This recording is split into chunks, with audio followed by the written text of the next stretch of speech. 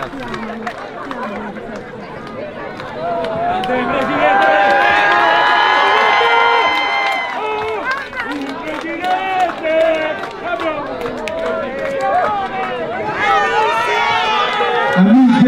e amici di Masso, buonasera, grazie. Arcibispo, qui stiamo rompendo tutti gli attrezzi. Abbiamo fatto un po' aspettare, mi scuso per il ritardo. Signora, lei sta facendo tardi, il protetto è pronto? Però ci tenevo a parlarvi e incontrarvi. Io ho iniziato questo itinerario L'ho dichiarato perché ho bisogno di dialogare con voi, di confrontarmi. Dopo il periodo della presidenza del Consiglio, sapete, ho assunto la guida del Movimento 5 Stelle. Ho assunto la guida del Movimento 5 Stelle, abbiamo fatto un lavoro insieme in modo consapevole, abbiamo lavorato insieme al Conte 1 e al Conte 2, abbiamo sperimentato questa collaborazione e abbiamo convenuto che condividiamo dei principi e dei valori che sono nel nostro DNA e allora dobbiamo rafforzare la nostra azione politica. Se sono qui stasera è per questa ragione, perché abbiamo un progetto politico e lo vogliamo condividere con voi. È un progetto politico che deve svilupparsi a livello nazionale ma a livello anche territoriale abbiamo un metodo che è quello di non chiudersi, di non chiuderci nelle segrete stanze.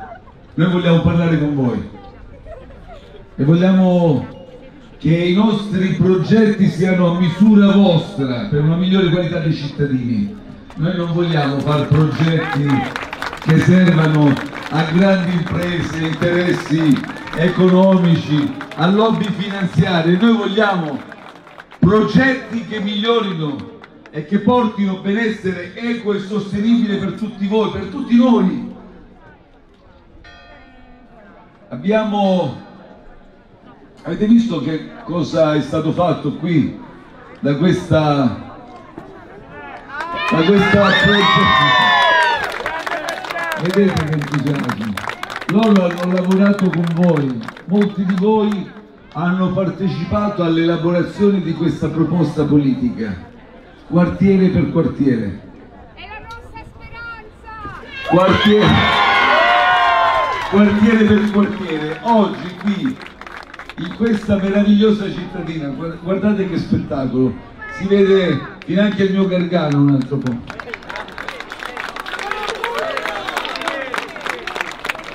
mi fate venire finanche nostalgia di casa. Questo progetto è nato qui, quartiere per quartiere, cercando di capire le esigenze, i bisogni di ogni quartiere. Questo progetto, questa proposta politica, di cui il Movimento 5 Stelle è il pilastro, non nasce proponendo, offrendo promesse che non si possono mantenere, ma offrendo un progetto per questa città che la migliori effettivamente. Avete dei problemi che sono stati studiati, avete dei problemi che devono essere superati. Non possiamo lasciare, e soprattutto nel periodo estivo, qui l'infrastruttura idrica continui a non darvi offrirvi acqua. È inutile rappresentare orizzonti realizzabili, qui abbiamo bisogno di rigenerazione urbana. Super bonus 110% edilizia ci consente di migliorare e efficientare dal punto di vista energetico le nostre case, le nostre abitazioni, i nostri condomini. Ci consente di metterli in sicurezza, il tutto gratuitamente. Tante volte ci è stato detto ma no, sono misure che costano. Però quando c'è determinazione e volontà di lavorare per i citt- i cittadini, noi abbiamo dimostrato che non ci fermiamo di fronte a nessun ostacolo il super bonus lo dobbiamo prorogare.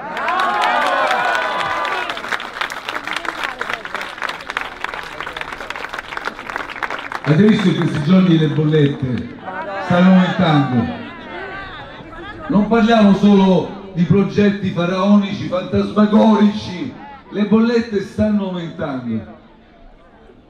Io con i ministri 5 Stelle il pomeriggio mi sono precipitato dal ministro Cingolani per risolvere questo problema. Perché lasciare che le bollette lievitino di 30-40% significa pesare sul bilancio familiare, non solo delle fasce più deboli, ma anche del ceto medio. E la politica ha il dovere di offrire una risposta. E qui dovete, dobbiamo trovare una risposta di sistema al di là della congiuntura economica che c'è, è un problema certo che origina dall'aumento anche del gas, riguarda anche la Francia, la Spagna, oltre che l'Italia. Ma noi dobbiamo intervenire, per esempio nella bolletta c'è una voce oneri di sistema. In sostanza è una tassa trasversale universale. Se la trasferiamo sulla fiscalità generale noi possiamo dosarla progressivamente. Ma perché i ricchi devono pagare come i poveri?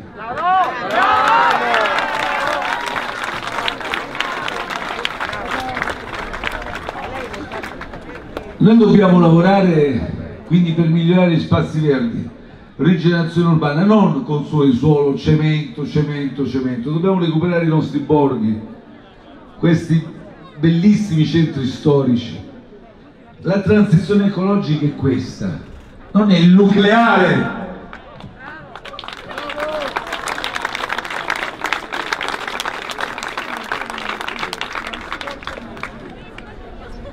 Delle volte, quando non si studia, succede poi che si sparino pubblicamente dei proclami che non hanno senso. Quando un esponente dell'opposizione dice io sono per il nucleare in Lombardia, ma tra l'altro stiamo parlando di nucleare di quarta generazione, neppure gli scienziati ce l'hanno già portata di mano. È un discorso completamente così futuribile, ma che senso ha? L'energia atomica costa molto più delle energie da fonti rinnovabili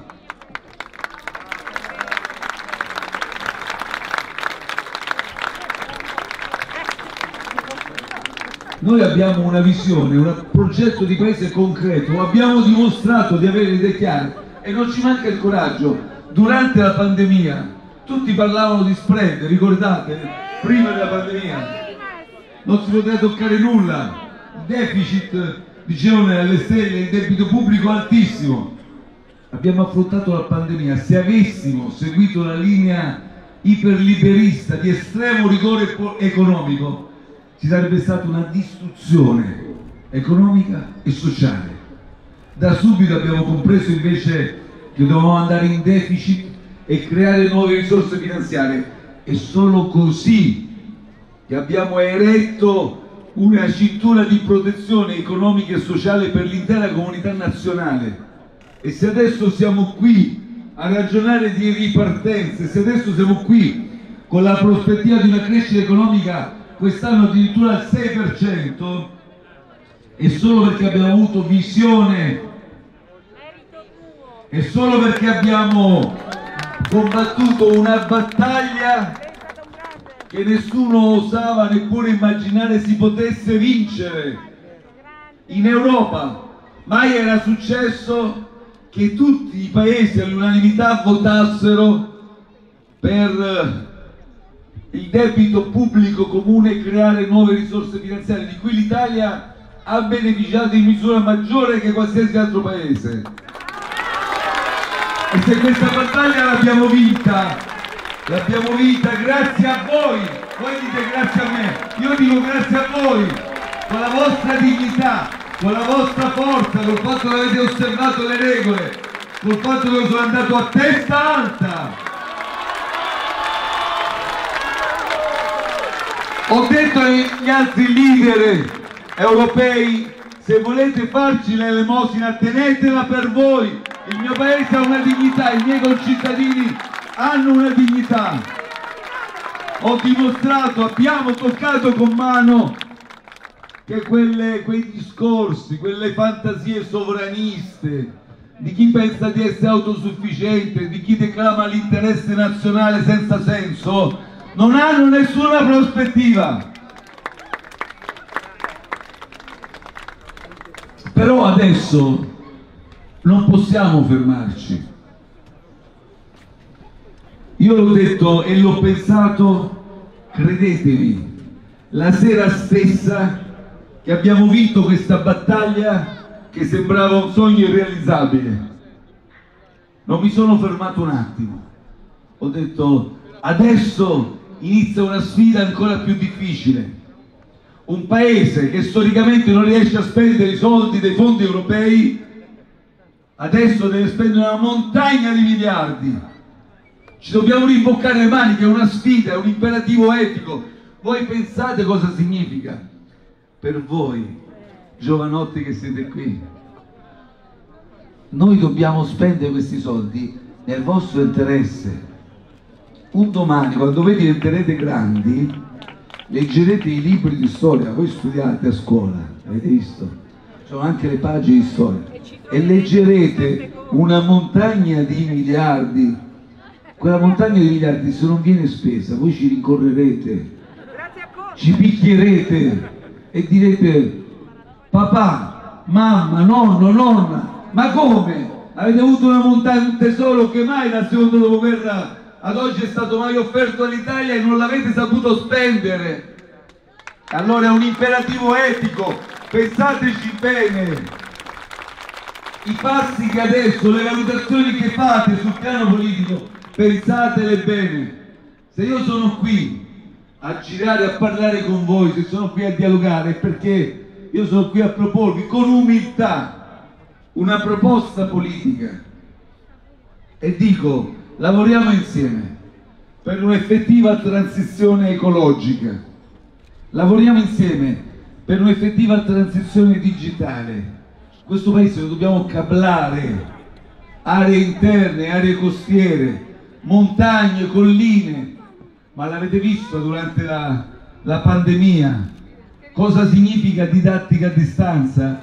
Significa disuguaglianza, toccata con mano. Abbiamo stanziato subito 100 milioni per distribuire computer a tutte le famiglie meno abbienti per le scuole, ma è inutile girarci intorno, ci sono famiglie e ragazzi che non hanno avuto i mezzi per poter partecipare alla didattica a distanza, quell'anno, quell'anno e mezzo lo perderanno. E anche lì noi misuriamo le diseguaglianze. E allora vi dico transizione ecologica, transizione digitale, ma l'inclusione sociale è fondamentale. Inclusione sociale, cari amiche e cari amici, significa che non dobbiamo lasciare nessuno indietro. Perché un paese è forte. Se voi avete dei compagni di classe che hanno qualche difficoltà voi stessi li dovete aiutare perché così la classe diventa più forte così voi vi rinforzate vi arricchite voi stessi è così o no? Ma come si può combattere una battaglia di questi giorni, di questi tempi, contro il reddito di cittadinanza che ci ha consentito di contrastare la povertà più assoluta. Noi stiamo parlando per lo più di integrazione di 200, 300, 400 euro. Povertà assoluta significa non avere di che mangiare, non avere di che sopravvivere, avere di che arrivare a fine mese. E dei soloni della politica ci vengono a dire che bisogna abrogare il reddito di cittadinanza dopo che vivono di stipendi della politica quando hanno 18 anni. Io mi indigno, mi indigno, mi indigno.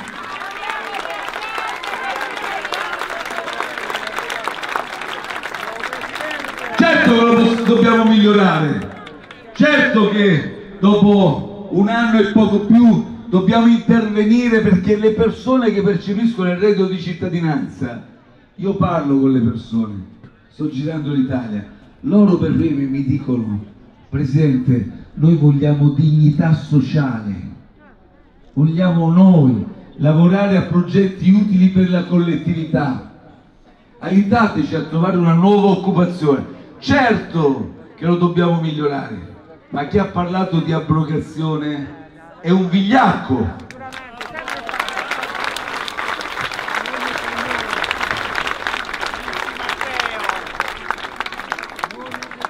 Ecco allora che, vedete, noi continueremo a incontrarci, perché io lo dico sempre, quando sono uscito da Palazzo Chigi sono uscito col sorriso, perché pensavo a voi, pensavo, accarezzavo già la possibilità di dialogare, incontrarvi, stare in mezzo alle piazze liberamente con voi.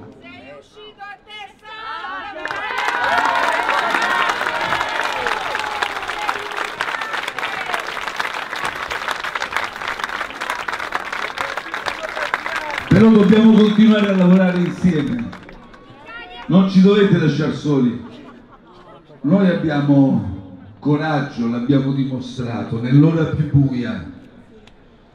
Abbiamo determinazione. Abbiamo idee e progetti chiari che vogliamo continuare a elaborare e a condividere con voi. Però da soli non ce la facciamo. E allora vi invito a considerare, non eh, pensate che la croce che mettete su una scheda elettorale adesso tra qualche giorno sia una operazione, un gesto separato da questa prospettiva. Se voi abbracciate l'idea che quella croce è un fatto che ben quella scelta può ben risentire dell'amicizia, del compare, del parente, dell'amico che vi chiede la cortesia. Tutto sommato si tratta di elezioni cittadine. Voi sbagliate, non è così. Perché perché la- il favore, la cortesia in politica non va fatta, non può essere fatta. I, i nostri figli e i nostri nipoti un domani ci chiederanno scusami, ma c'era quella dote finanziaria. Ma tu perché? Che cosa hai fatto? Che cosa hai scelto per la tua città? Che progetto politico hai sottoscritto? No, ma c'era che gli rispondete? Perché c'era il parente, l'amico di famiglia, mi ha rotto le scatole? All'indomani di quella croce ci sarà un sindaco che sarà chiamato a impiegare per la quota corrispondente qui a Vasto già la prima tranche di quel tesoro. Perché quest'estate sono arrivati 25 miliardi.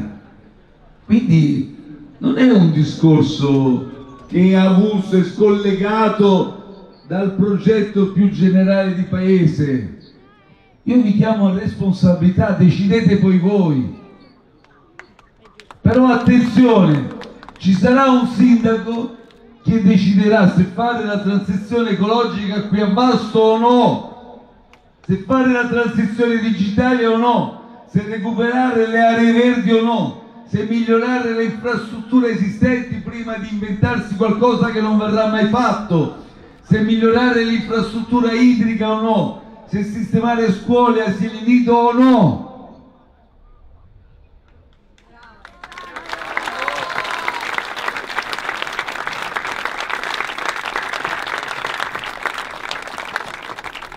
Queste signore, questi signori, queste ragazze, questi ragazzi offrono con la nostra candidata sindaca Grande offrono un, mi piace chiamarlo un progetto di comunità. Un progetto di comunità. È un progetto di comunità non improvvisato. Non è stato fa- non abbiamo fatto 10 liste, 7 liste per acchiappare voti, no? Riempi di liste Così tutti i parenti, amici, conoscenti sono lì e quindi i voti svuoti tutti i voti degli altri. Non facciamo di questa operazione. Qui ci sono persone che condividono un progetto politico. Un progetto politico fatto a misura vostra, sulle vostre esigenze. Se lo condividete, io vi do la garanzia che in un quadro più generale nazionale ci ritroverete in prima linea per realizzare questi obiettivi che vi ho descritto in sintesi. E vi aggiungo che vi offriamo l'assoluta garanzia che questo progetto di paese, di comunità cittadina e di paese, noi lo perseguiteremo nel segno della piena legalità, anticorruzione, contrasto a tutte le mafie e sempre a testa alta con onore e disciplina, etica pubblica, etica pubblica, etica pubblica. Noi ci siamo, voi ci siete o no? Grazie, grazie Vasco.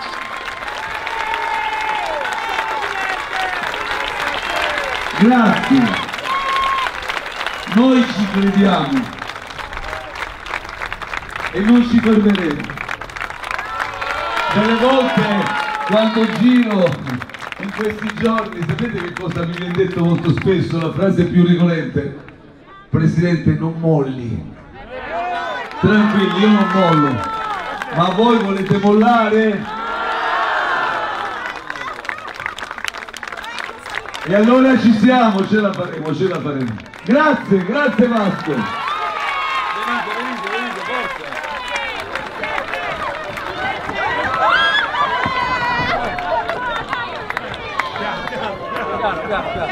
Avanti, avanti.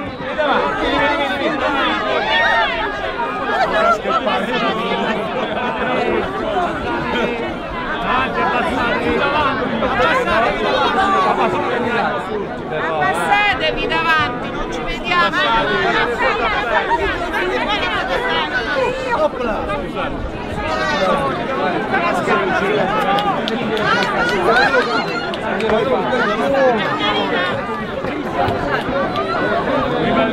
Ci regge qua!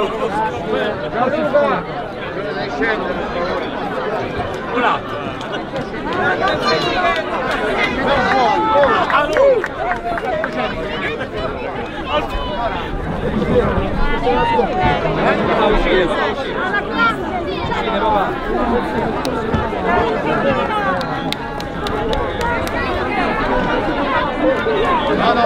Gianluca